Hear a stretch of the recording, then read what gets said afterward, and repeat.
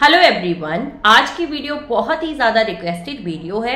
इसमें मैं आपको monochorionic diamniotic twin pregnancy को पॉइंट टू पॉइंट समझाने वाली हूँ। इसलिए वीडियो को पूरा ज़रूर देखिएगा। Monochorionic diamniotic twin pregnancy का मतलब होता है कि इसमें जो प्लासेंटा की संख्या रहती है, वो एक ही होती है बट इसमें जो दोनों बच्चों की पानी की थैली होती है, वो अलग अलग होती है। Monochorionic diamniotic twin pregnancy में जो आपके दोनों दोनों बेबी होते हैं, वो एक जैसे दिखने वाले होते हैं। एंड इसके साथ ही इनके जो जेंडर होते हैं, वो भी सेम ही रहते हैं। एंड इनको आइडेंटिकल ट्विंस भी बोला जाता है।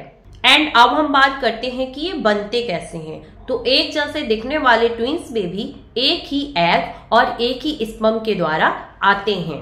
किसी भी गर्भाधान की तरह इसमें भी एग और स्पर्म एक साथ जुड़ते हैं, लेकिन फर्टिलाइजेशन की प्रक्रिया होने के बाद जो एग होता है, वो तुरंत टू पार्ट में डिवाइड हो जाता है। क्योंकि ये एक ही अंडे से बनते हैं तो इसलिए इनको मोनोजाइकोटिक ट्विंस भी बोला जाता है।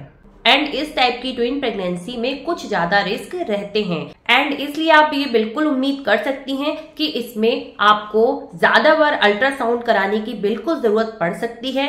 एंड इसके साथ ही आपको फेटल इकोकार्डियोलॉजी की भी ज़रूरत हो सकती है। अधिकांश मोनोकॉरियोनिक डाईएमनियोटिक ट्विंस बेबी का जो जन्म होता है, वो बिना किसी सीरियस कॉम्प्लिकेशंस के होता है। भले ही इस टाइप की ट्विन प्रेगनेंसी में जन्म से पहले कोई भी कॉम्प्लिकेशंस ना रहे हो, उसके बाद भी मोनोकॉरियोनिक डाईएमनियोटिक ट्विन प्रेगनेंसी में जो डिलीवरी होती है, वो टाइम से पहले ही हो जाती है।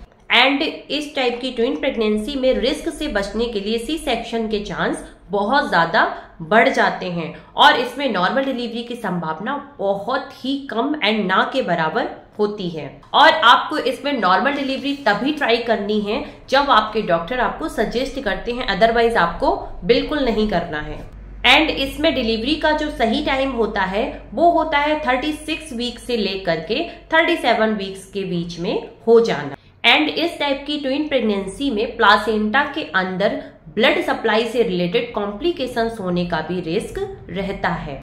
एंड इसमें 10 से 15 percent monochorionic diamniotic twin pregnancy में twin to twin transfusion syndrome हो सकता है। इसका मतलब होता है कि कभी कभी कुछ केस में किसी बच्चे को ब्लड ज़्यादा पहुँचता है एंड किसी बच्चे को ब्लड कम पहुँचता है तो इस सिचुएशन को ही twin to twin transfusion syndrome बोला जाता है। Twin to twin transfusion syndrome से एक या दोनों बच्चों में गंभीर बीमारी या फिर उनकी डेथ भी हो सकती है। एंड ये जो संभावना होती है, वो 16 वीक से लेकर के 24 वीक्स के बीच में रहती है। एंड इसके अलावा ये शिकायत कभी भी हो सकती है।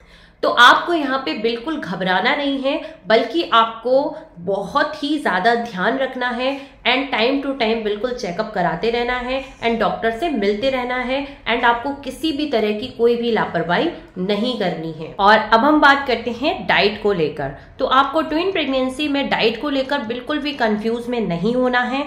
आपको बस छोटी छोटी बातों का ध्यान रखना है, जैसे कि आपको जंक फ़ूड बिल्कुल अवॉइड करना है। अगर आपका बहुत ज़्यादा मन करता है तो आप वीक्स में एक या फिर दो बार लें बट बहुत ही कम मात्रा में लें।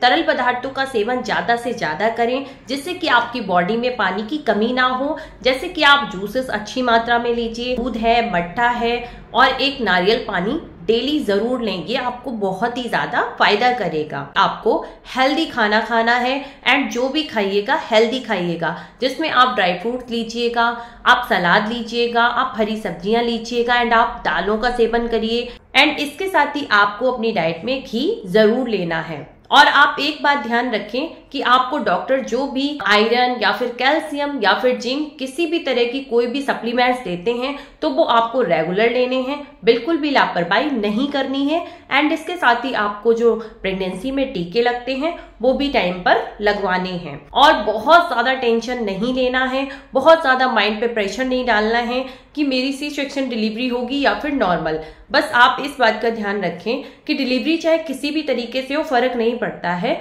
आप और आपके दोनों बेबी अच्छे से इस दुनिया में आ जाए। बस आपको इसी बात का ध्यान रखना है। अगर आपको ये वीडियो पसंद आया तो प्लीज़ एक लाइक ज़रूर करें एंड चैनल को भी सब्सक्राइब करें। साथ ही में बेल आइकन दबाएँ ताकि मेरे हर वीडियो का नोटिफिकेशन आपको टाइम से मिले। सो थैंक यू फ्रेंड्स मिलते हैं अगले वीडियो में।